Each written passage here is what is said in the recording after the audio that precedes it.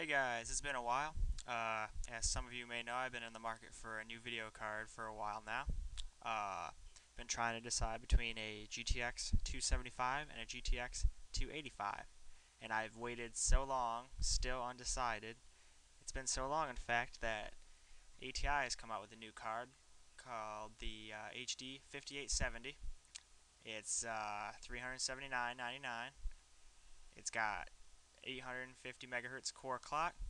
It's got 1600 stream processors. Its memory is clocked in at 1200 megahertz. It's got 1 gig of RAM, which is GDDR5.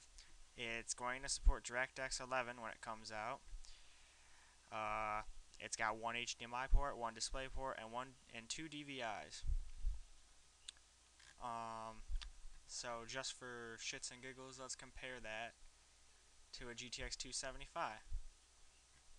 Uh, obviously this is a little older, so it's cheaper. Um, I already explained all this stuff. You guys can check it out real quick. Um, then we move on to the 285, which is almost the same price. Well, not after the rebate, it seems. I didn't even see that.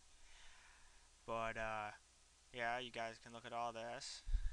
Um, and then we go to uh, this, which is, let's see how much it is in the cart.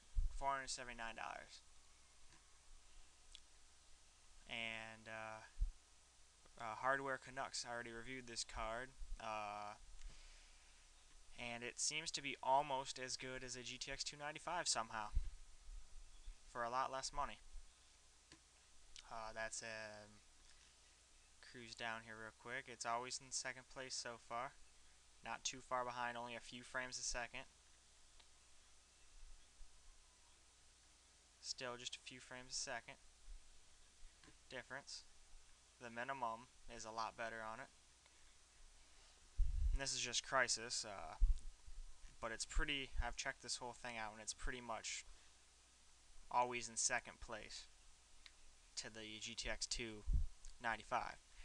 So I was just wondering if anybody actually had this card yet. I don't even know if it's out yet. So some if you guys can give me some feedback, that'd be nice. I don't want to start a whole ATI versus Nvidia war because I like both.